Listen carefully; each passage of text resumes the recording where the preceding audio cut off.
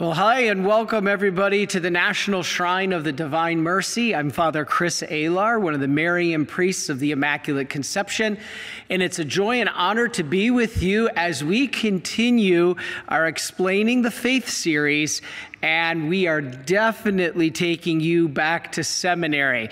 I had one of my favorite classes in all of seminary at my Dominican House of Studies seminary in Washington, D.C., was an elective that I took called Islam. And I cracked out the notes, I cracked out my books, and been working diligently this last week to summarize an entire semester for you today. So bear with us as we best try to explain what Islam is, an understanding of the similarities and differences. Yes, we have to understand that, but most of all, what links us together, especially Mary. So let us begin in the name of the Father, and of the Son, and of the Holy Spirit. Amen. Heavenly Father, we ask you send the Holy Spirit down upon us to grant us peace, that all men and women may live in harmony with one another. We ask that the truth of Jesus Christ be spread around the world, and that we may be the beacons of that example. We ask all this through the intercession of our Mother Mary and through Christ our Lord. Amen. In the name of the Father, and of the Son, and of the Holy Spirit. Amen. Well, thank you. We have a great group today with us here at the shrine. We are live. We also have a bunch of you with us.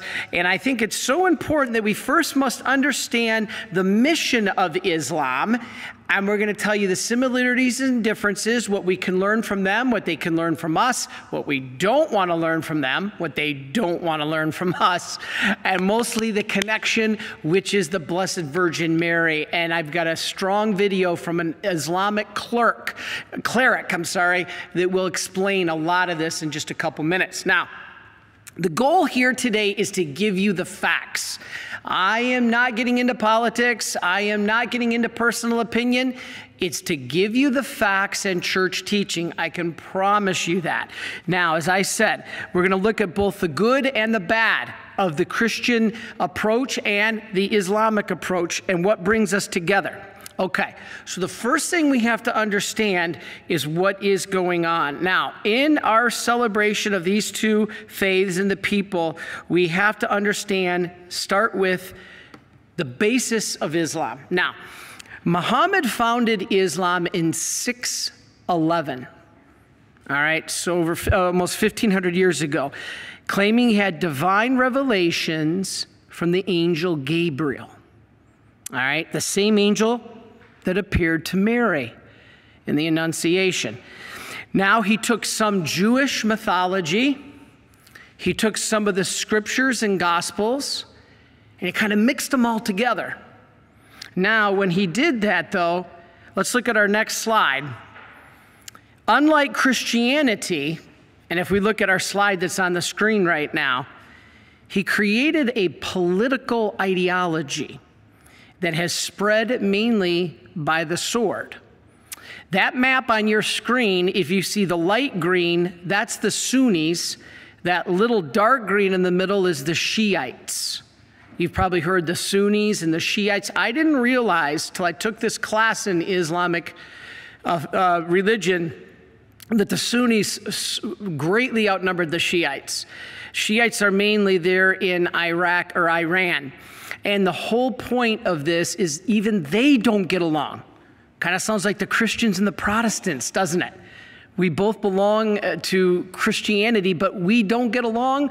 In Ireland and other places, we need to. The same with Islam. Now, here's the thing they created what is many people claim is not a religion, but a political ideology, spreading this, this Islamic mentality through the world, but mainly by force. Muhammad said, and this is his quote, Go and fight all men until they say there is no God but Allah. Okay, not pointing this out to cause dissension. You'll see where I'm going with this to cause and create unity. Now, at that time, Arabs were worshiping 360 gods why 100, 360 gods, Father Chris? They had one for each day of the Arabian year. There were 360 days in the Arabian year, so they had one for each day. So the worship of one God was new to them, just like it was to the Jews. And Muhammad used that whole monotheistic mentality just like God, the true God, the Father, did with the Jews. So we have some core foundation here. And so Muhammad said, listen, there's one God. And he effectively unified the various tribes of Arabia through saying there's one God. But he realized non Arabs, Jews, and Christians were not as willing to convert. So here's the problem that he had he spread his teaching through military conquests, and hence we have the perils of the relationship with Islam. Jihad, which means holy war, is mentioned in the Quran, and it is to be fought against all non believers. Now, that being said, why would you get somebody to fight this battle? How do you get young men to drop everything, come and unite and fight for this purpose? Okay, followers are promised a paradise of carnal pleasure if they die in the service of religion. I had a marketing course at the University of Michigan when I got my MBA. And I remember the instructor, it was not a religious course, it was marketing, it was a business course. And my, mark, my professor at the time said, You know who the, one of the most masterful marketers in the history of the world was? Muhammad. He said he gave young men three causes to fight one, chivalry. You're fighting for a cause. Everybody wants to fight for a cause. And you're fighting the chivalry of your faith. Two was the spoils of war. He promised that when they conquered, they could keep the gold and the riches. And the, th- and the third, the promise of an X rated afterlife, carnal pleasure. This is a reality, and this is what this is what Muhammad did to market this cause. Now, let's look at our next slide. All right. The next slide is actually this, on your screen a picture of the Quran. And look at that set of beads. First of all, doesn't that Quran look like the Bible? And look at that set of circular beads that they pray on. Does it not look like a rosary? We're going to get back to this in a moment. Now, I had a class in Islam at, um, in Washington, D.C. The professor was a Catholic priest who used to be Muslim. He converted from the Muslim faith to become a Catholic priest. And man, I can't teach you half of what he taught us in that class because it would be a political nightmare for us. But I can tell you what he said in some things. And he said, if you are a peaceful Muslim, and there are many, you're actually not participating fully in the Quran. You're not actually fully following the Quran. He said, because enslaving families of the infidels, taking their women as concubines, as an established aspect of the Sharia, that if one denies, he's denying the Quran and the narrations of the prophet. In other words, he's an apostate. Apostate's kind of like a heretic. So basically, he said if you are not following the Quran, then you're not peaceful. And, um, excuse me, if you're following the Quran, you're not peaceful. I was surprised by this. And this is from a former Muslim that became a Catholic priest. Now, he said, their issue with Christianity is because we teach Jesus is the Son of God. This is blasphemy to them. Now, they are defending what they think is the true truth of God. You can't blame them for that. They defend their faith much more than we defend ours, and there's something to be learned from that. We are told that Islam is a religion of peace, and most Muslims want to live in peace. This is what we were told by administrations in the White House and everything else, and yes, there is some truth to that. This is an unqualified assertion, however, and it may be true. I know a lot in Michigan, very peaceful, good people, No qualms, no problems, none whatsoever. But this instructor told us that's irrelevant. We went we went, huh? The very fact he said that most Muslims want to live in peace is irrelevant. We were glued to him. We're like, what? And he used this example. He said, the fact is that fundamentalism, terrorism, is unfortunately ruling much of Islam today. Now, he used the example, and actually, I'm sorry, this was not the professor, this was another speaker that I heard. He said, a Nazi minority ruled Germany. Most people in Germany didn't want the Nazi minority. They ruled, a, a minority in Nazi Germany ruled called the Nazis, and they killed millions of Jews, although most Germans were peaceful. He said communist Russia was comprised of Russians who wanted to live in peace. Yet Russian communists killed over 20 million people. He said China's huge population of people is almost all peaceful. You ever meet a Chinese? They are some of the nicest, kindest, most gentle, peaceful people there are. Yet the Chinese communists have killed over 70 million people.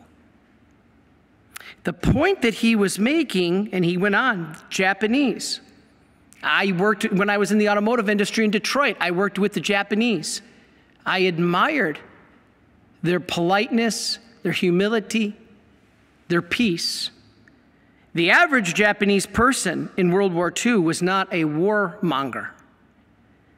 Yet, Japan's forces murdered its way across Southeast Asia, killing 12 million Chinese. This trend continues today. Most Islam, in the same way, is peaceful, wants peace. But a minority group of fundamentalists and terrorists don't. We have to face this reality. Am I criticizing the people? No way. We Christians fall into the same category. We teach one thing, but many Christians live another. So here's what happened this trend continues today. Over 100,000 Christians lose their life every year for their faith. So, right now, all those examples of people being killed, it continues today, especially with Christians. But God is not absent. God is with us he is present if we seek him. Let's look at our next slide. What image do you see on your screen? The image of divine mercy. Look at your screen. This is the answer. Why? Jesus said in diary number 48, I promise that the soul that will venerate this image, what image?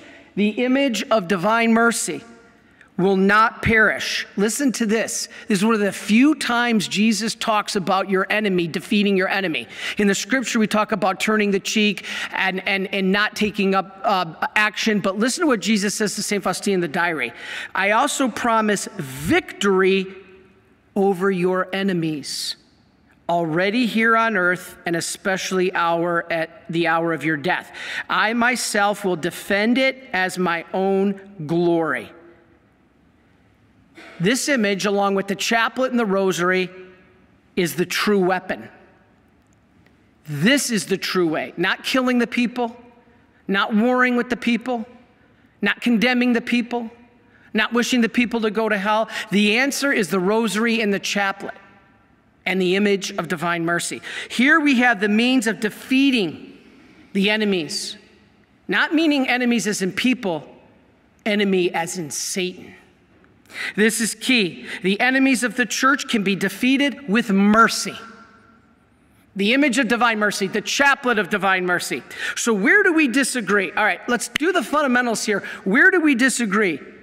And where do we agree? All right, Peter Kreeft, you've heard me talk about him. He said, as a Christian, I say that Islam lacks the cross and Jesus Christ and his radical love.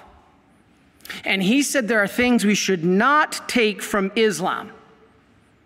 He said we should not take from them their hatred of other people and civilizations, mainly the West, preventing apostasy by murdering apostates, meaning murder those who don't believe in your faith. Don't do that. Treating women as slaves, don't do that. Prioritizing justice over mercy as they do, don't do that. Continuing century old grudges, don't do that. Fear of freedom, fear of using reason, don't be fearful. He says they have a, a slavish fear of God. They are to be slaves to Him. God wants to be father, not slave. Terror, terrorism has caused Unitarianism, the theology that there is not three persons in the Godhead, but only one. And that Christ is not divine, but only human. Peter Kreeft says, we can't take that from Islam. But likewise, he says, there's things from us that Muslims don't like either and shouldn't learn from us. We are a bad example, he said, to them. What did he mean? Materialism, consumerism, sex on demand, drugs, addictions, pornography, reason without any faith, redefinition of marriage, embracing abortion, adultery, fornication, contraception, sterilization, euthanasia. We can go on and on. The big one, he said, was provocative dress. Mary warned us in 1917 at Fatima the impurity of, of clothing and attire. I mean, I'm a priest but I'm still a man. And when young ladies, 20, 30 years old, come up to communion and they're wearing little more than a piece of fig leaf, this is very difficult. And so Islam should not learn this stuff from us. They're much better in that sense. So, what Christians should learn from Muslims? We have a real common enemy. It's not each other, it's sin, it's Satan, it's selfishness, it's secularism, the four S's. Satan, sin, selfishness, secularism. Peter Kreeft says, as a Christian, I also say that Islam has great and deep morality and sanctity. He said, this should inspire us, even shame us to be and prod us to admiration and imitation. So, you want to know what we shouldn't learn from each other, as I just said? What about what we should learn from each other? Okay. He says, You know what we can learn from Islam? Faithfulness and prayer. They pray five times a day. Do we pray five times a day? I'm consecrated religious. We're required to pray five times a day. And sometimes I don't even get to do that. Their devotion to fasting and almsgiving, prayer, fasting, and almsgiving, that's biblical. Sacredness of the family. They don't believe in abortion. They believe in children and hospitality. Their families are large. The absoluteness of moral law. The demand to be just and charitable the absoluteness of God and the need for absolute submission, surrender, and obedience to God. Do you know the meaning of the word Islam?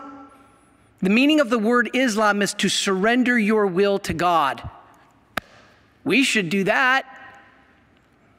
So you will not find many Muslims who are indifferent, don't care, moral pragmatists, hedonists, utilitarians, materialists, relativists, or libertines.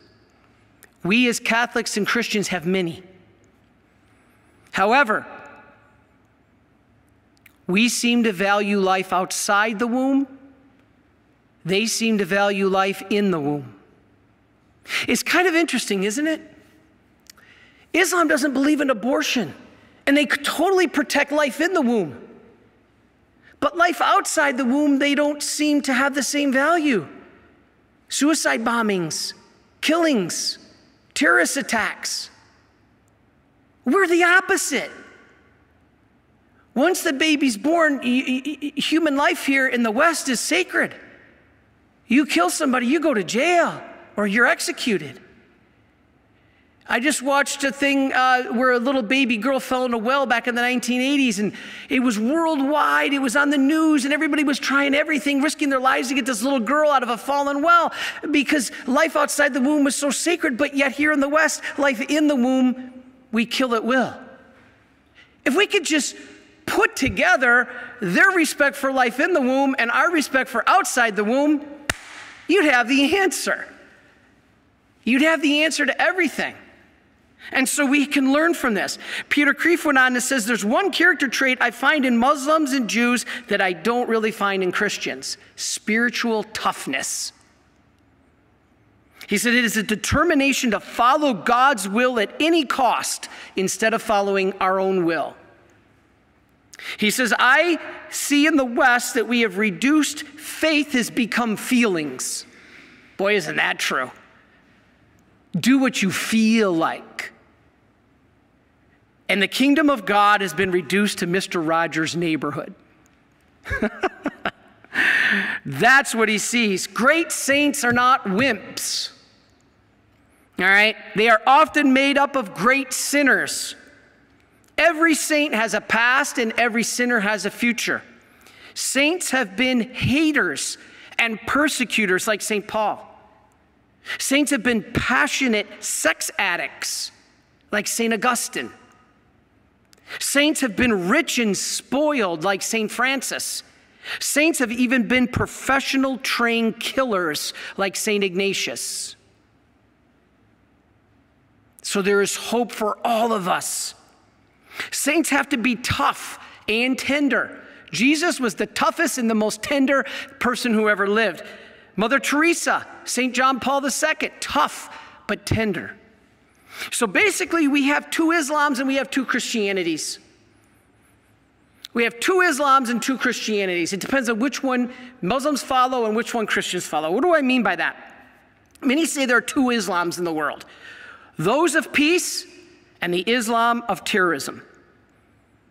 The Shiites and the Sunnis, they hate each other because of heresy more than they hate us in the West. It's kind of surprising. Islam has good things like total surrender to God, but they have bad things like the rejection of Christ as Savior, the Word of God in the Bible, and love, not just servitude. But there are also two Christianities. One, we have a Christianity of the New Testament love God, love your neighbor, surrender your will, die to yourself. Do most of us follow that? No. Probably a lot of us follow the Christianity of accommodation to modernism, consumerism, niceness, relativism, individualism. So it's not easy for either side to point fingers here. All right, now let's talk about some of the similarities because I'm getting here to the good part, which is the answer to the problems. Now, there are some not exact similarities, but they are similarities. Now, I want to talk about this. Islam is a weird, filtered version of Judaism and Christianity. It's actually a Christian heresy. Islam is actually a Christian heresy. And I'll explain that in a moment. Do you know every one of the 99 attributes of God mentioned in the Quran is also mentioned in the Bible? Did you know that? In both books, God's mercy is cited 10 times more than his justice, but in a different way. Let's look at our next slide. Our next slide shows the difference Abba versus Allah. Abba is our God Father, loving, became, sent his son. Their God is Allah, which is more about servitude. Now there's a similarity and a difference there. But let's talk about the Quran's reference to Mary. 34 times, she is the only woman that is mentioned by name. Even Muhammad's daughter is not mentioned by name in the Quran, Fatima. His daughter's name was Fatima. The commonality Islam shares with us and the Jews is called its five pillars. Listen to these five pillars and don't tell me there's not a similarity here. The five pillars of Judaism, I'm sorry, of Islam, is one, a declaration of belief.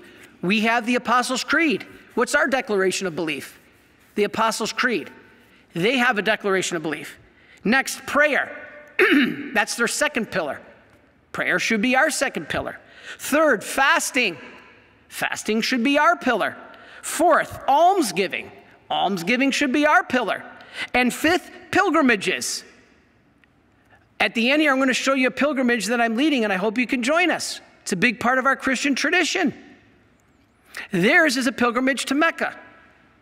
So we have the same five pillars in a sense, not exact.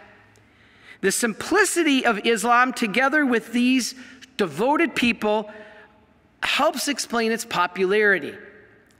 John Paul II, however, said in Crossing the Threshold of Help, Hope, the Muslims' devotion to prayer is a model for Christians who have deserted their magnificent cathedrals and pray only a little bit or not at all.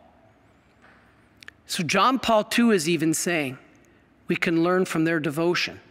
You know who I keep thinking of when I think of Islam? St. Paul. God chose St. Paul because he had the most zeal and devotion. Yeah, it was completely in the wrong direction. He was killing Christians. St. Paul was killing Christians. His devotion was completely in the wrong direction. But remember, God said, I'd rather have you hot or cold. This is cold. Hot is great because you're warmed to God. But St. Paul was as cold as you could get. He was in the opposite direction. But God saw something in him. He didn't go to the lukewarm guy sitting on his couch watching sports. He went to St. Paul, who he saw persecuting Christians. He said, I love that zeal. Not that he's killing Christians, but I love the zeal. And he converted him to St. Paul from Saul. This is important. now, do Muslims worship the same God? Okay, this is one where I I agree with every single line, every single paragraph of the catechism, every single word in it because I am a priest. In essence, I have to, but even if I didn't have to, I actually do. I've read the entire thing.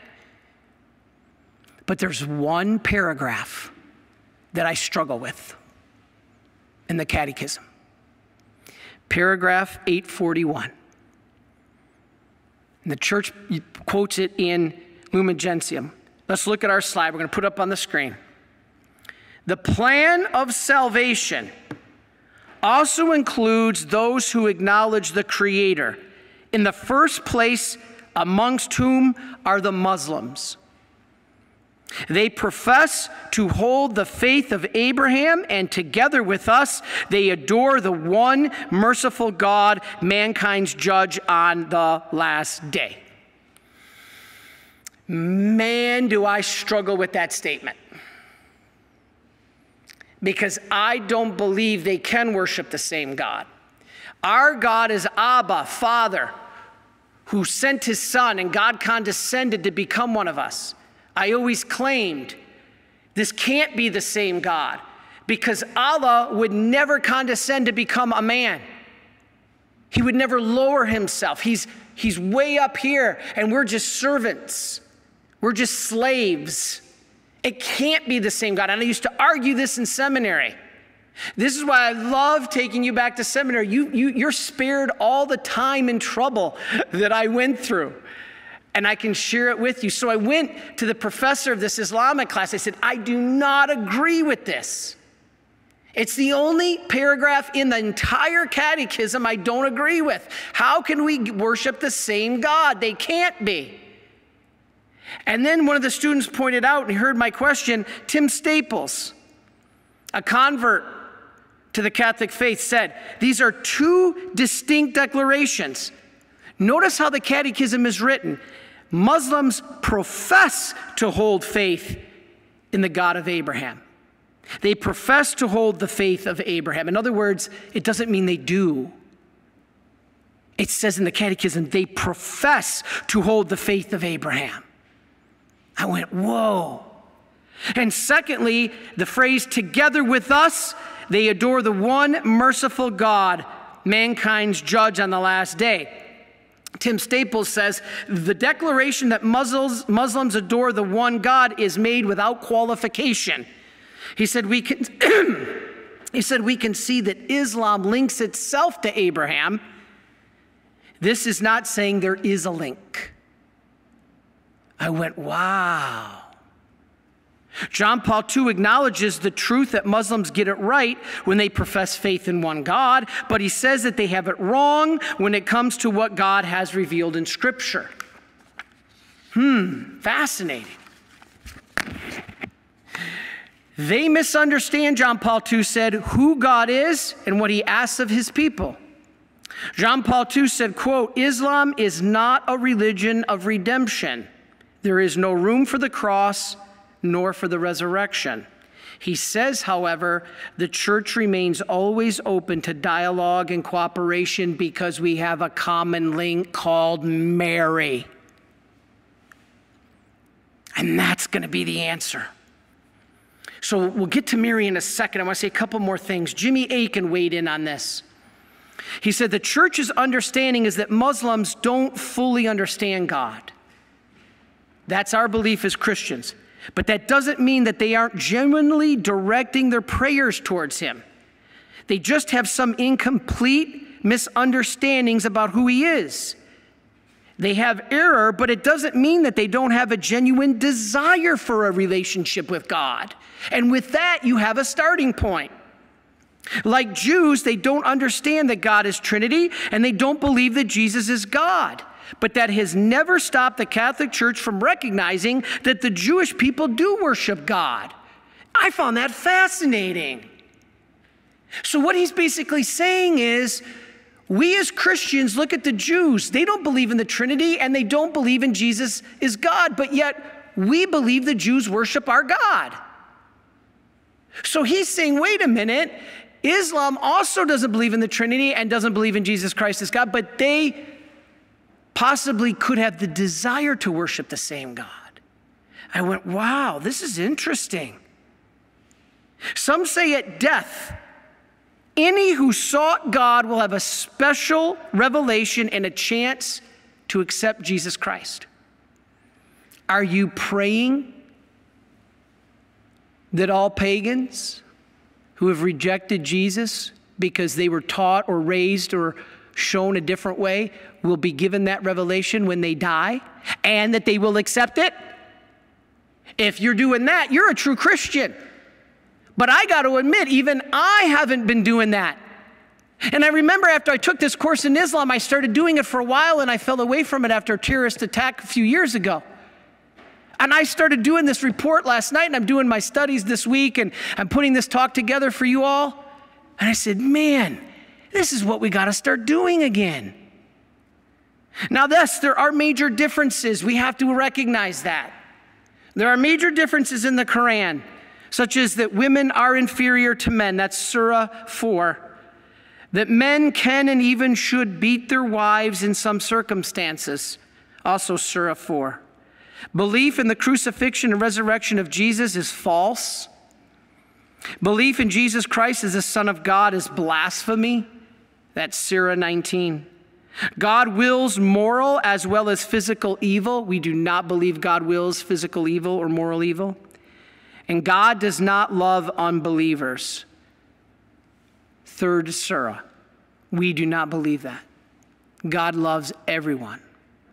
So, what do we do? The differences between Islam and Christianity are prominent. Well, you got to go back to the root. Let's look at the first 400 years of both religions. That'll tell you an answer.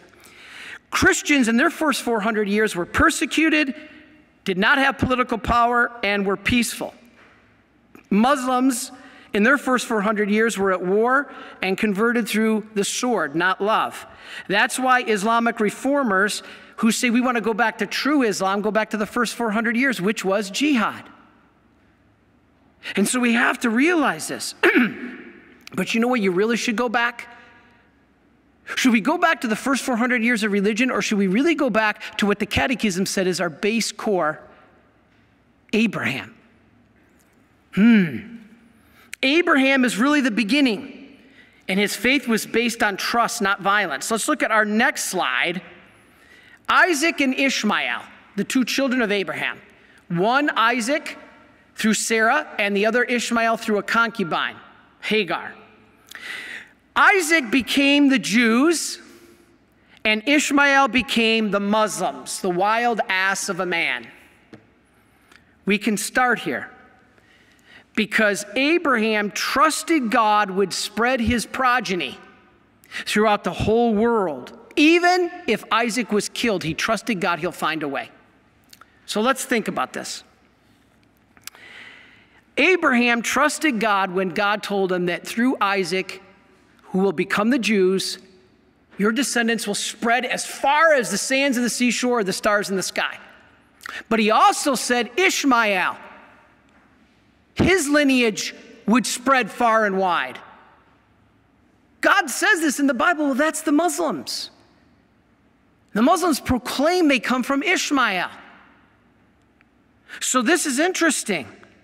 Muslims would spread too, and they have. Do you know, I said this the other day, for the first time ever, there are more Muslims now in the world than Catholics. First time in world history. Today, there are more Muslims than Catholics. The gap's going to widen. Muslims have large families. They don't believe in abortion. We Catholics believe in abortion. We're not supposed to, I'm just telling you, when you're not living your Catholic faith. Misguided Catholics believe in abortion, birth control, and small families. This gap is going to continue to widen. And the rivalry between the Jews who came from Isaac and the Muslims who came from Ishmael continues today. And their goal is to destroy the Jews.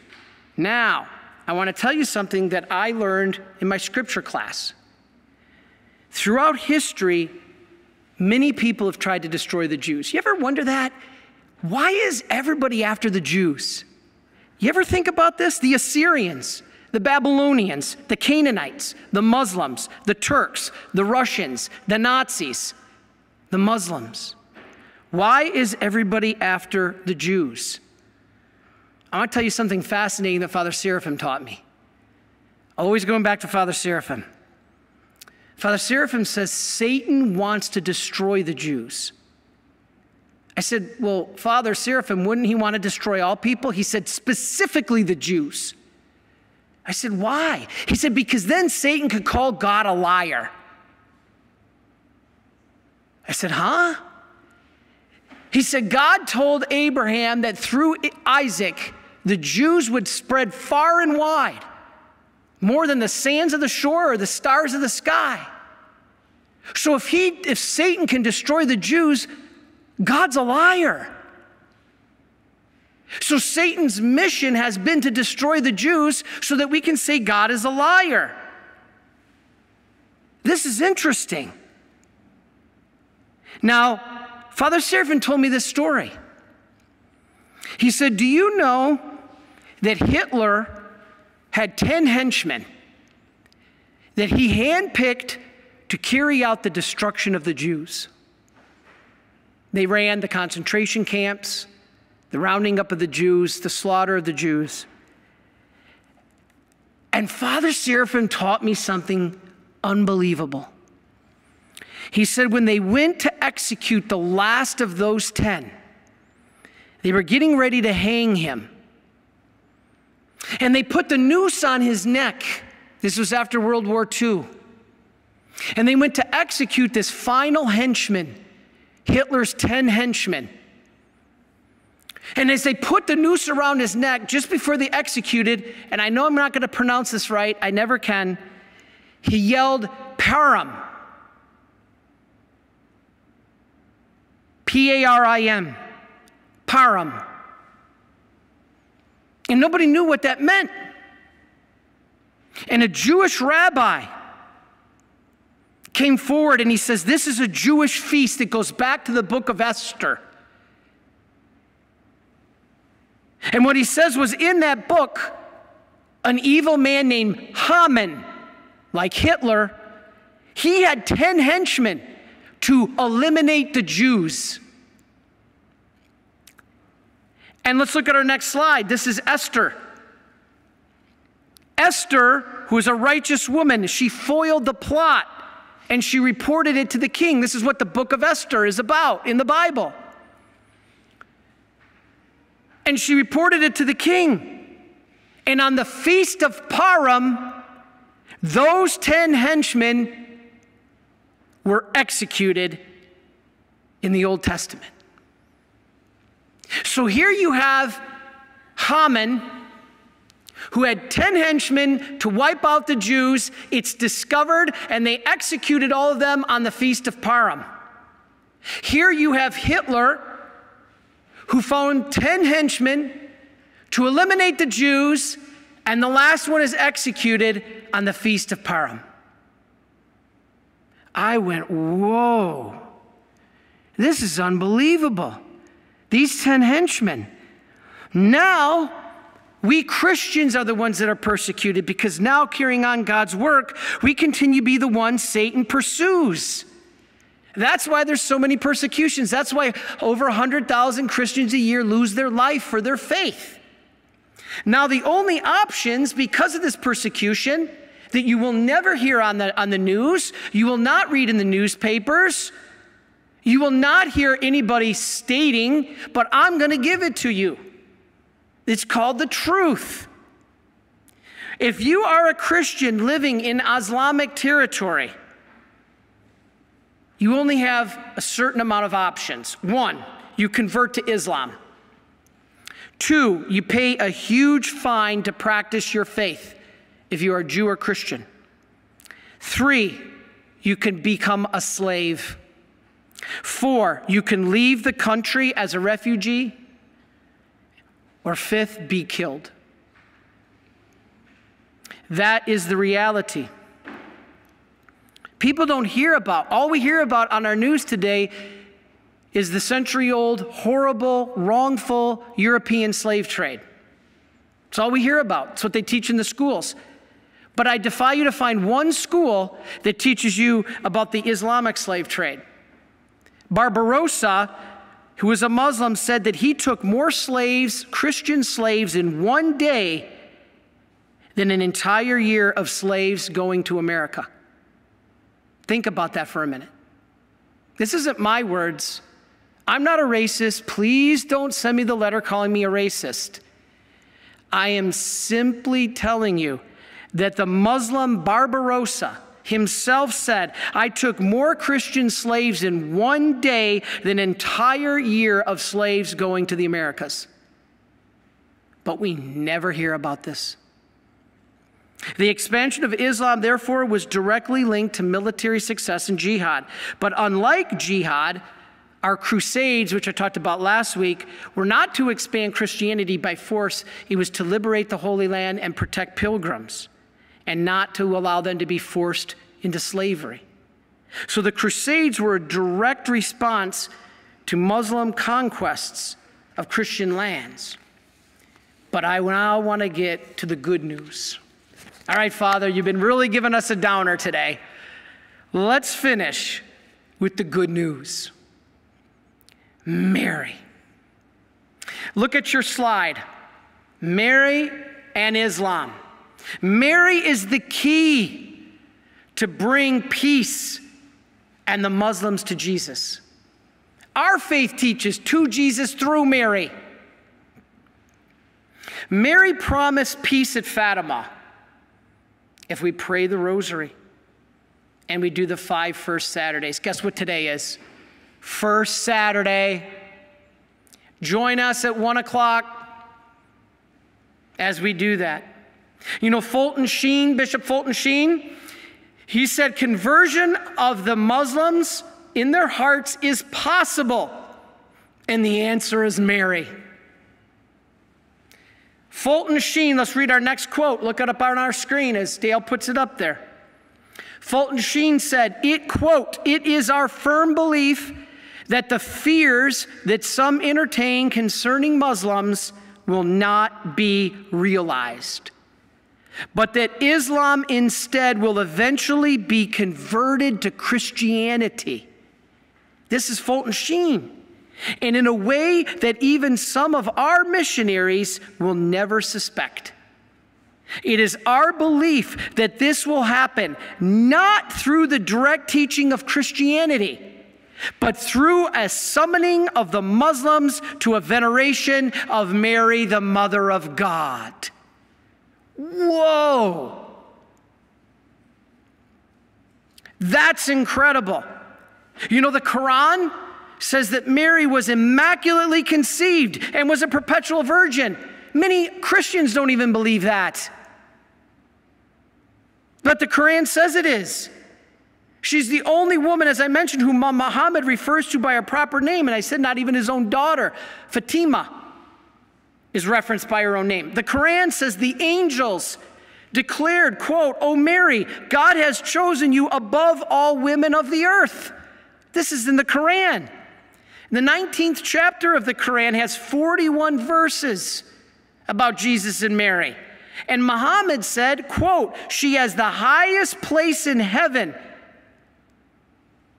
after the Blessed Virgin Mary, talking about his own daughter. In other words, he's saying Mary has one of the highest places in heaven. Wow. I want to show you now a two minute video of an Islamic cleric. This is an Islamic cleric. It's only two minutes. But this host asked this cleric, this Muslim cleric, about Mary. You will not believe his response. Let us take a look. Dr. Shabir, the question we have here can you explain why Virgin Mary is well considered and even put on a kind of prominent place within Islam? Well, I can say that first of all, uh, Mary is an important person in her own right. Uh, uh, she's the mother of Jesus, on whom be peace, who is a prophet, a messenger of God, and uh, a very important uh, figure in history. He is uh, the founder of Christianity, which is a world, the most major religion of the world. so it's natural that she should have a prominent place. moreover, when the Quran came on the scene, the Quran is actually appealing to followers of previous previous religions. Uh, the Quran is uh, appealing to uh, Christians in particular and people of the book more generally uh, and asking them to rally to this new message. And so uh, the new message was shown to be in harmony with the messages of the previous prophets, uh, so that Islam and the Quran itself was shown to be Uh, a natural uh, continuation of the messages which were once delivered by Abraham, Moses, and Jesus, on whom be peace. And uh, since uh, Mary, being the mother of Jesus, had already a great importance uh, in Christianity and especially in Catholicism, naturally the Quran, in appealing to people who already believe in, in Mary, would make a prominent mention of her and also do, would not hold back from giving her uh, that great importance uh, which the Quran can give uh, to any individual um, uh, while reserving the utmost importance uh, for God himself. So in that vein, we see that the Quran says that the angels announced to Mary that God has chosen you and preferred you above all of the women of the world. So it is quite a glowing tribute, Safia. Mm-hmm, mm-hmm. Okay, Dr. So, Spirit, we're going to leave it at that. Okay, I mean, if you had more time, I just had one last uh, thought. Uh, Mary is mentioned by name many times in the Quran, often in conjunction with her son, but uh, she's also mentioned as a model in her own right uh, for believers to follow. Mm-hmm. Thank you for that, Dr. Shabir. You're welcome. All right, now is that statement from an Islamic cleric not hopeful to you? My gosh, when you listen to that, you can really see we do have the core base commonality, and it starts with the mother of God. To me, this is amazing. You know, Fatima, Portugal is actually named, as I said, over under uh, after a Muslim princess, Fatima, as we said, was Muhammad's daughter. And Fulton Sheen believes that the conversion will come through Our Lady of Fatima, the conversion of Islam. The Islamic terrorists are terrorists. Did you know this? This is fascinating. Do you know the guy who tried to assassinate John Paul II was an Islamic terrorist? I think he was Turkish or something. I'm sure somebody can correct me. He assassinated or tried to assassinate John Paul on May 13, 1981, do you know he is converted to Catholicism? Did you know that? Do you know that he made a pilgrimage to Rome and laid flowers on John Paul II's grave after he got out of prison? Do you know that it was reported that he could not believe that John Paul II survived and he attributed it to Our Lady of Fatima. He said, There is no way this man could have lived. I shot him. I am a trained assassin. I shot him at point blank range. But what did John Paul always say? Mary guided the bullet, it went around his main artery. So this assassin or attempted assassin said, I can't believe it. There's no way he could have survived. I am an expert. I shot him at point blank range. And he said, It must be this Our Lady of Fatima.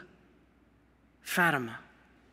He didn't know the date that he shot John Paul was the anniversary, May 13th of Fatima.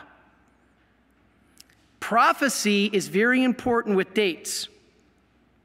You know, I mentioned earlier the word Islam means submission.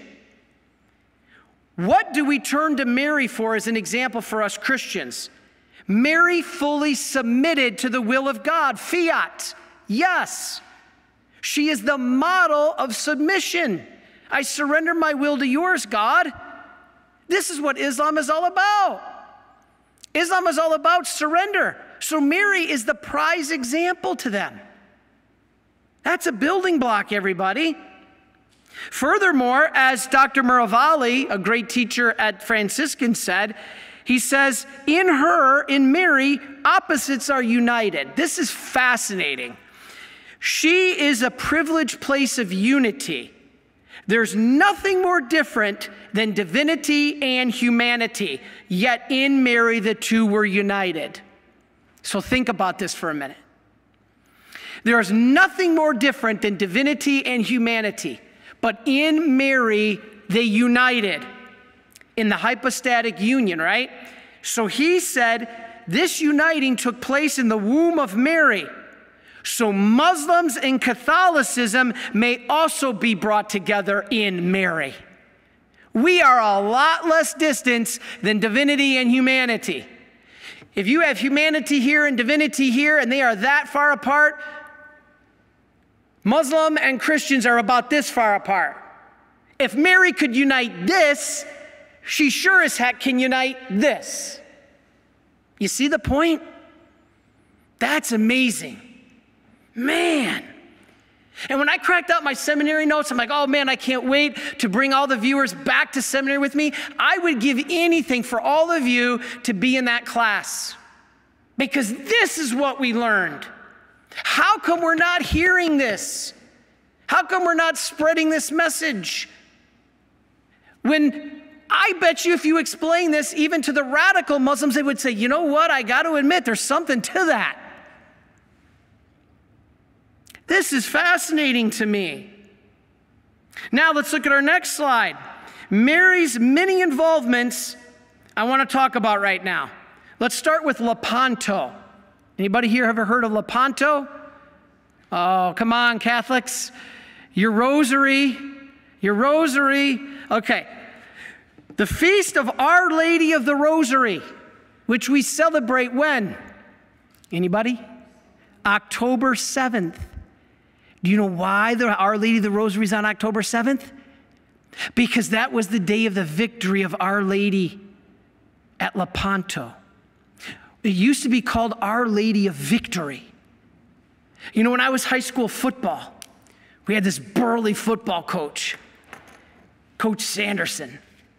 And he used to say, I want you to get out there, knock them down, rub them into the ground, then help them up. Now let us pray. And we would pray to Our Lady of Victory. And I never knew what that meant. I just thought it meant win the game. Our Lady of Victory is winning the fight for Christianity and your soul. Our Lady of the Rosary used to be called Our Lady of Victory. It's the anniversary of the victory of the Christians over the Ottoman Navy at Lepanto in 1571. I don't want to get into history. I did that last week. Let's talk about this real briefly, though. The Turkish Ottoman Empire, as I explained last week, had invaded much of Byzantine, much of the Catholic, Christian Byzantine Empire by the mid 1400s. And they had brought a large portion of the Christian world under Islamic law. This was happening. We are seeing this again today. That's why we need to pray the rosary in the same way they did back in the 1500s. They stopped it. There was a Holy League that was created. When I was a kid, I used to watch the Super Friends called the Justice League. And I used to be like, that's a cause. It had Superman and Batman and Wonder Woman and Aquaman.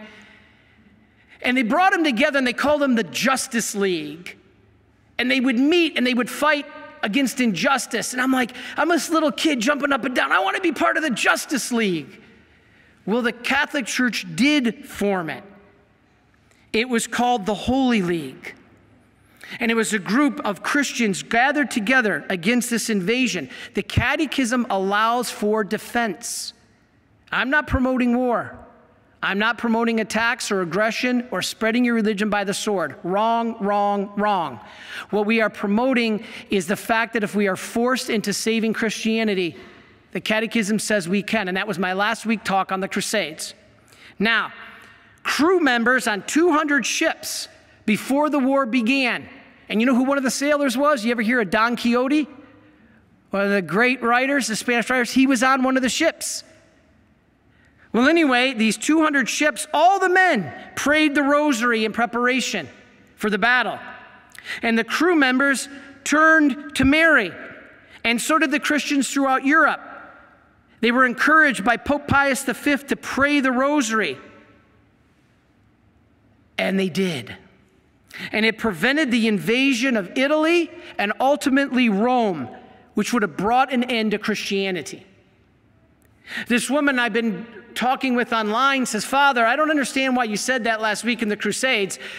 Hell cannot prevail against the Catholic Church, and you're saying if it wasn't for the Crusades, we would have lost Christianity.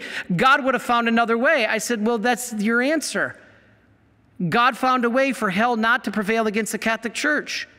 It was the intercession of the Blessed Virgin Mary in the defense of Christianity. Am I promoting war? No. But the rosary was the key to stopping conquest. This is what Mary said to do at Fatima pray the rosary to stop this conquest of communism. And she, she says it'll bring peace. Communism will spread its errors. That's what's happening today. Back then, it was another error. Today, it's communism.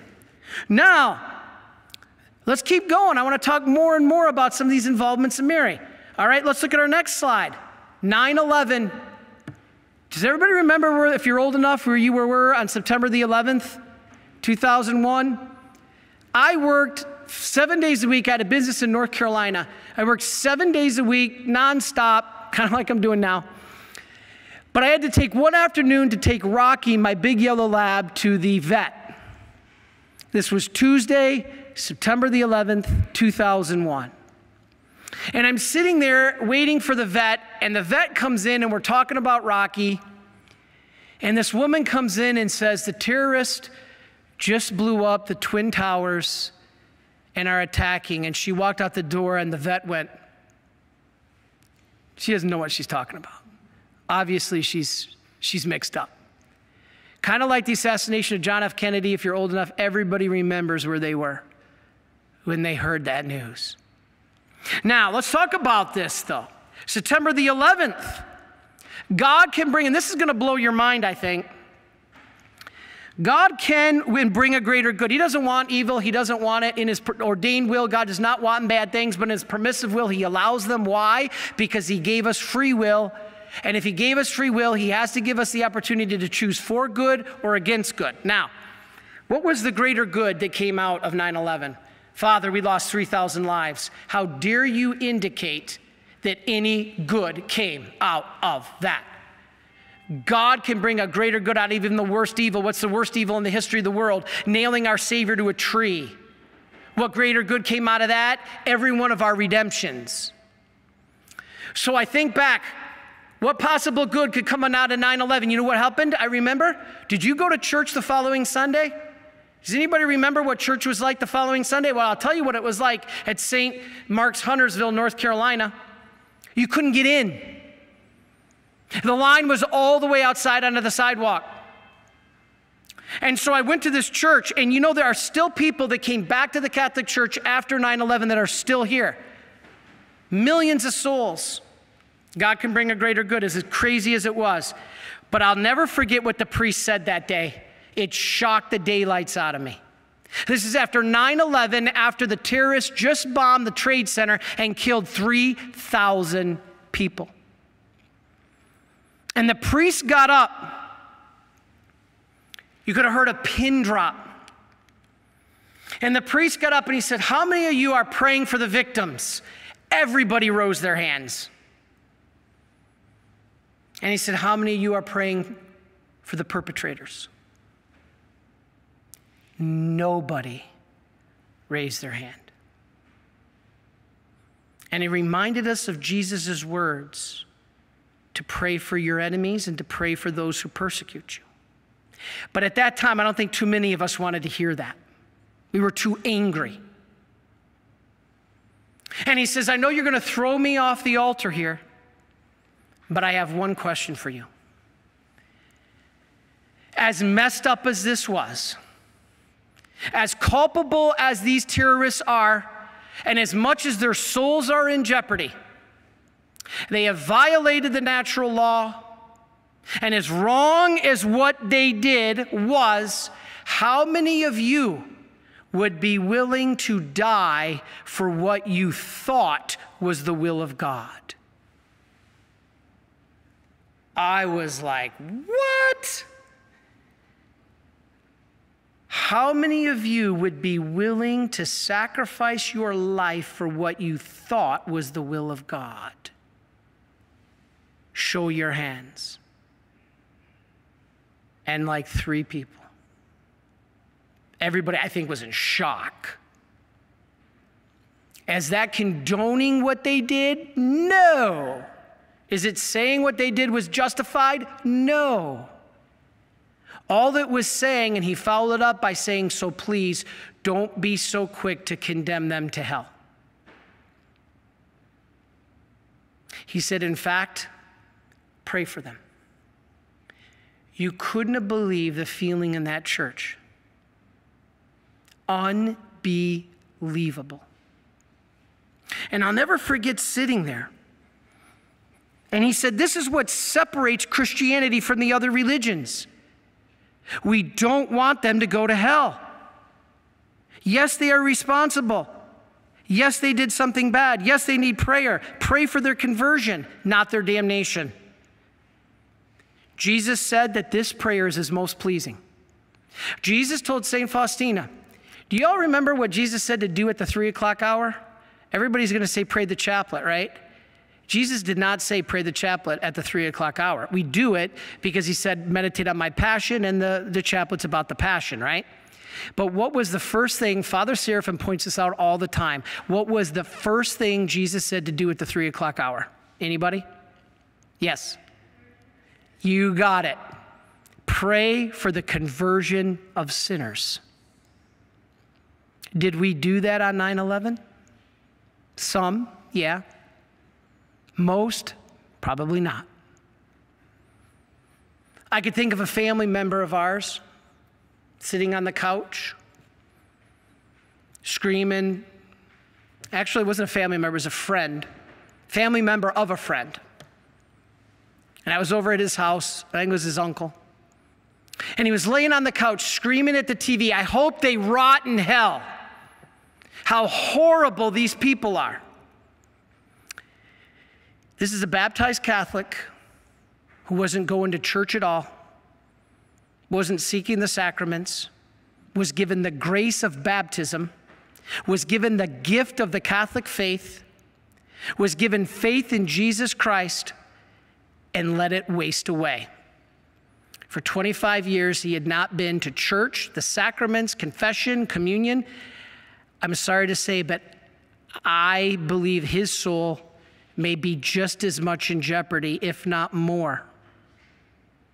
Because who was given much more? To whom much is given, much is expected. Pagans weren't given the gift of the Catholic faith, they weren't given it. We are. Do not waste it. This is something to be aware of. All right. So I want to finish with 9/11 because this is this is very powerful. All right. Saints tell us you'll be surprised at who is in heaven and who is not. Do you hear that? Saints tell us you'll be really surprised who's in heaven and who is not. Now, I, I think this is a little fascinating sidebar. Do you know why the terrorists picked September 11th? Do you think it was just a random day? Oh, no. Was very calculated. September the 11th was picked because it was the highest point of Islamic power in history. September the 11th, 1683. It was the height of Islamic power. They were on the verge of conquering all of Europe. And the next day, look on your screen, was a battle you've probably never heard of that saved the world. It's called the Battle of Vienna, Vienna, Austria. The next day, September the 12th, Islam's reign was over.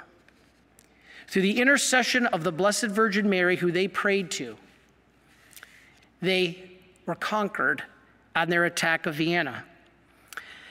After assuming that they would take Vienna, the Muslim Sultan said his next step there's nothing stopping us to take St. Peter's. Once we take Vienna, there's nothing stopping us. World domination, the end of Christianity. The battle marked the end of the expansion of Islam in Europe. How? Because a little ragtag group of Christians defeated what to some say was up to 300,000 Muslims. And it was from this victory that we celebrate the holy name of Mary. The holy name of Mary. Why? Because no nation would step up except a little guy from Poland named Jan Sobieski. My dad declared him his new hero. My dad never even heard of him. We're learning all this garbage in schools.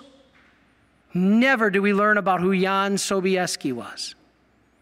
A Polish general who stepped up and entrusted the battle and led a cavalry from Poland in the name of Mary, shouting, Our Lady of Czestochowa. Can you imagine? What a battle cry. Our Lady of Czestochowa. And what happened?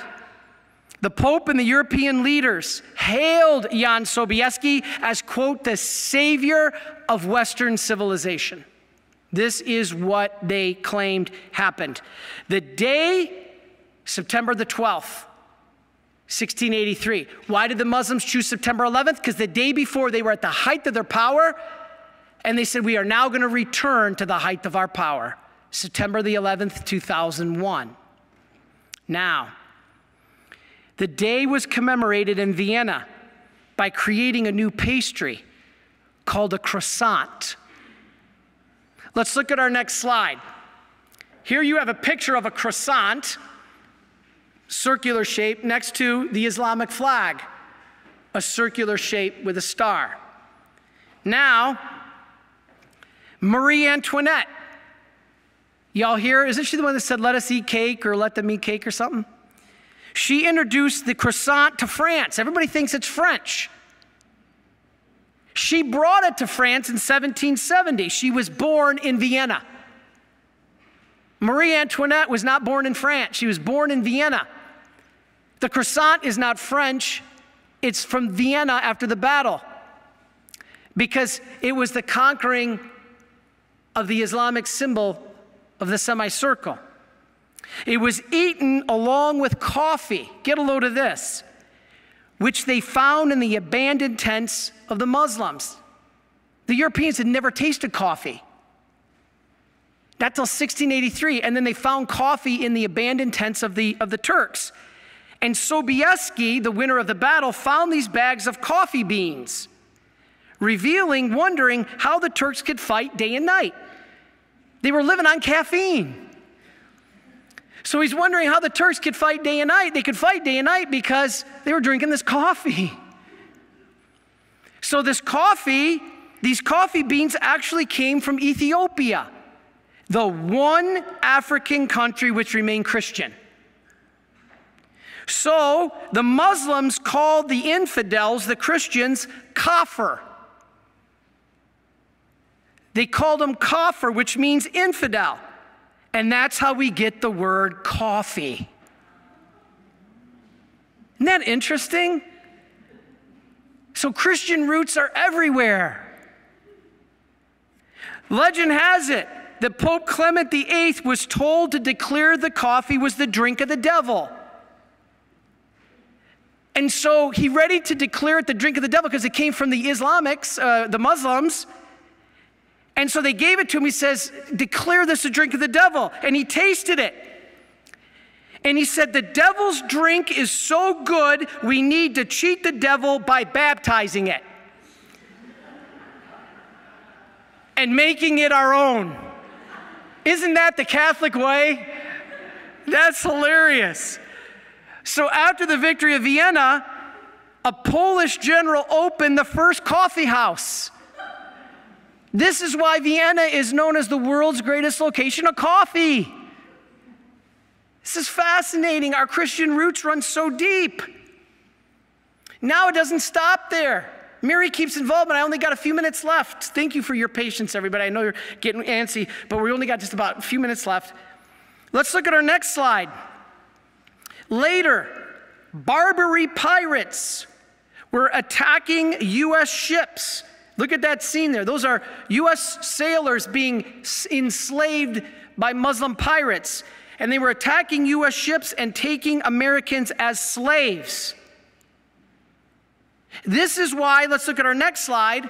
Thomas Jefferson created the United States Marine Corps in 1775.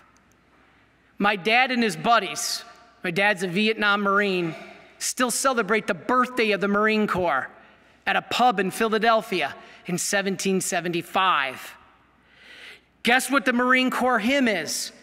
From the halls of Montezuma to the shores of Tripoli, we will fight our country's battles on the air and in the air and the land and the sea. From the halls of Montezuma to the shores of Tripoli, that was protection of Islamic pirates the shores of Tripoli. And so the United States even has a hand in this history. The ambassador to the United States, quote, said, because they said, stop attacking and enslaving our sailors. Thomas Jefferson, God bless him, we need more like Thomas Jefferson today, and yet we're writing him out of the history books. I get so upset with that, I got to go to confession. And so Thomas Jefferson is being written out of the history books. And he had had enough when the ambassador, the Islamic ambassador said, quote, it is written in the Quran. This is what he told the United States, that all nations who don't acknowledge our authority are sinners. That is our right and duty to make war upon them whoever they could be, wherever they could be found, and to make slaves of them all that we can take as prisoners. So they justified taking the United States sailors as slaves, and Thomas Jefferson said, That's it. And he founded the United States Marine Corps. God bless all of you who have served for justice and the protection of freedom. So, what happened? Mary doesn't stop. At the break, I told everybody here that Mary is so into this that she even appeared on television. What are you talking about, Father? 1968. Mary appeared in Zeitoun, Egypt, hovering above St. Mark's Coptic Church. She was there. 1968, especially at night, everybody could see her. It wasn't just visionaries, like a few people at Fatima, a few children, or Medjugorje. The church that she appeared on is believed to be the same place that Mary and Joseph and Jesus stopped at their flight into Egypt. This church is dedicated to the Holy Family. And the reason this church is dedicated to the Holy Family is because, again, they believe Mary, Joseph, and Jesus went there and rested during their stay in Egypt. That's why they built this church to the Holy Family. And this is where Mary appeared on the church. So let's look at our next slide. I'm sorry, I'm going to try to show everybody here if I can show it. Um, I don't know if everybody here, but uh, on our screen, if Dale could see, that's actually, I don't know if you all can see it, but it'll be on our website tonight on my talk on this on YouTube. But you can see Mary very clearly appearing on the top of this church. Now, what's fascinating is Christians, Jews, Muslims, they all saw her, even unbelievers. Even unbelievers saw her. She was up there and it was broadcast on television. Why are we not learning this? Why are we not being told this even in our own church? How many people have heard a homily on this? How many people have heard a bishop talk about this? All I've heard some bishops say is that we got to capitulate and we have to stop our Christian ways. No, we don't. We have to live the gospel. And Mary's going to help us do that if we live virtuously. So, an estimated 40 million people saw her. 40 million. And the apparition was approved by the Orthodox Pope, because this was over an Orthodox church. So, unlike other apparitions, it was not just visionaries, but everyone saw her. This is fascinating. It doesn't stop there. In 2014, Boko Haram, Muslim terrorists took 200 young girls in Nigeria. You might remember this. And a Catholic bishop was ready to take up arms to condone it. And he had a vision that Jesus appeared to this Catholic bishop in Nigeria, and Jesus was holding a sword. And the bishop's like, Yes. And he reached his hands out, and Jesus handed the sword to this bishop. And the bishop took the sword, and it turned into a rosary in his hands. It turned into a rosary. And so, this is an example. And he said the rosary was the weapon to overcome Boko Haram. After that, most of those girls were released and Boko Haram surrendered. We have a priest that's maybe coming back, but he had to go back to Nigeria named Father Richard. I don't know if you ever saw him when he was there. I think Mary here saw him and remembers him. The nicest guy in the world. I went to him for confession. You ever want to go to one of the best confessors ever? Go to Father Richard from Nigeria. He's not here now, but you basically could tell him anything and he would be like, seeing the good in it. I'm like, my goodness. And Father Richard was telling a story. It's one of the most incredible things. We have a new YouTube, uh, EWTN series starting September 1st. I invite all of you to tune in. Every Wednesday at 6.30, I'll be hosting a new show on EWTN with my Marian priests and brothers. And we're trying to get Father Richard. He's going to be a guest on one of those shows. He's going to tell this story. Father Richard told me this story that he was celebrating Mass in Nigeria and he was celebrating Mass, and in walked a dozen Islamic terrorists strapped with explosives. They were going to blow up the church. This happens regularly, you don't hear about it. And he was going to strap it, the explosives, and to blow up the church. All of a sudden, the leader fell to his knees and he went into a trance. Now, all his other assistants were around him And all of these others that were ready to participate in the explosion of the church were prepared to give their life for what they thought was the will of God. No, wrong, wrong, wrong, violates the natural law. But this guy fell to his knees and he went into a trance, Father Richard said. And all of a sudden he stood up. And his partners are all looking at him and he goes, Jesus is Lord. Jesus is God. They're like, huh? He had a vision of Jesus and Mary. And Jesus showed him his divinity. And Mary took his hand and led him to Jesus. This is our whole faith to Jesus through Mary. And he got up and he told all the others that were ready to blow up this church that Jesus is God and Mary is the way to him, and they all converted. Why don't we hear about this? If we heard about this, this is the purpose of why I'm teaching you to take you back to seminary so that we can understand yeah, there's fundamental differences, but look at the connection. There's hope, but we got to pray, we got to believe, we got to have faith.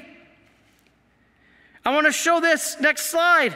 Fulton Sheen suggests that Mary's apparitions in Fatima will play a major role in the conversion of Islam. Our Lady of Fatima, Queen of the Muslims. That's what Fulton Sheen said. That's incredible. Our Lady of Fatima, Queen of the Muslims. Wow. Can you imagine if humanity came together like that? Is that the triumph of the Immaculate Heart? Wow. So, Fulton Sheen suggests this. He says many Muslims already pray on a string of beads. Did you know this? Fulton Sheen pointed out that Muslims pray on a string of beads that looks very similar to the rosary.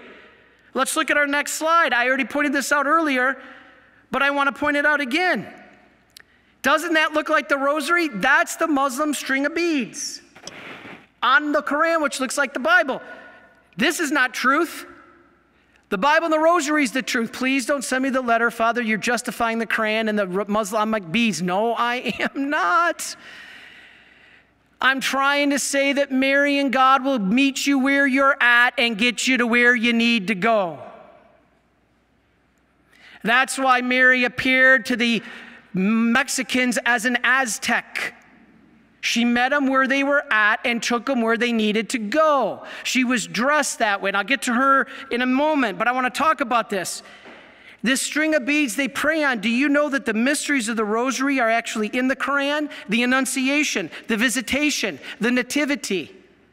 It's all in the Quran. They're already praying this. And I'm almost done. I know I keep telling you I'm almost done. I'm almost done. The exchange of the Muslim prayer beads for the rosary will be an easy one. They already pray on these beads. It'll be easy to switch out to the rosary. There must be a reason why God has allowed Islam to flourish and spread all over the globe. Is God planning a wonderful event for our times, an event that would lead an entire religion to God, kind of like the Catholicism in Guadalupe? All the Aztecs were led to God, millions were affected. I don't know, but let's look at our last couple slides. This is why Mary appears in the culture as an Aztec. This is Our Lady of Guadalupe. Maybe, can we please turn our cell phones off, please? Mary in the Quran is a Muslim girl. And this is why many Catholics and Christians say, well, that makes it invalid. Yes, in a way it does. It's not how we understand Mary. But again, God will meet you where you're at. If to the Muslims, Mary being a Muslim gets them to open their eyes and then she takes them where they got to go to Jesus Christ, she did just what she did with the Aztecs in Guadalupe. She met him as an Aztec, dressed as an Aztec, but then took him to Jesus Christ. This is fascinating. This makes sense. Mary in the Quran is a Muslim, and many criticize it, but it could be the key. Until then, we need to pray for Mary's intercession, and that's where I want to finish with two quotes that I think I need to leave you with today. They're two slides. I'm going to read them to you, these two quotes, and we are done. All right, the first quote is what St. Faustina said Jesus said to her. Quote, my pupil. Isn't that beautiful? That's what I'm saying you guys are right now. You guys are pupils. You're going back to seminary. You're learning about your faith so you can love God more. My pupil, have great love for those who cause you suffering. Do good to those who hate you. I answered, Oh, my master, you see very well that I feel no love for them, and that troubles me. So Faustina herself is saying, I can't love someone who hates me. You think Faustina's perfect? Here she just showed her she's not. Jesus answered, It is not always within your power to control your feelings. So don't get discouraged if you don't feel like praying, make an act of the will. That's what love is, not a feeling, an act of the will. You will recognize that you have love if, after having experienced annoyance, and contradiction, you do not lose your peace, but pray for those who have made you suffer and wish them well. Diary 1628. Wow. And then the last slide is the Bible. Jesus says in Matthew chapter 5, you shall love your neighbor. You have heard it said, you shall love your neighbor and hate your enemy. But I say to you, love your enemies and pray for those who persecute you, that you may be children of your heavenly Father. For he makes his sun, S U N, rise on the bad and the good and causes rain to fall on the just and the unjust. For if you love those who love you, what recompense will you have? Do not tax collectors and pagans do the same? So be perfect as your heavenly Father is perfect. Father, I can't do that. It's not natural. You're exactly right. It's supernatural. God bless you. Thank you all so much for going back to seminary with us. You got a lot to learn today, so I'm not going to have Dale run an, an ad at the end on any book or anything like that. We're just going to stop the video. But I do want to give you an opportunity, if you wish, to get a few things. We do have my uh, DVD where I do my talks on shopmercy.org. You can see it's called Explaining the Faith. I don't know if Dale has that up. So please visit shopmercy.org or call us at 800 4 Marian, M A R I A N. Next is my book called Understanding Divine Mercy. I talk a lot about this in that book. You can get that for any donation. Just visit thedivinemercy.org slash UD. DM for understanding divine mercy. Any donation, a dollar, it's all I got, Father. Take it, give it, whatever. Don't even have it, I'll send it to you anyway. Join our Association of Marian Helpers. You can see our next slide, micprayers.org. Share in these graces. There's no cost. It takes 10 seconds. Please do it. And with that, I'm going to finish now and say, God bless you all. Thank you, and let's pray for each other to live in peace and harmony. Amen. Amen. Hallelujah. And may Almighty God bless you, the Father, the Son, and the Holy Spirit. Amen.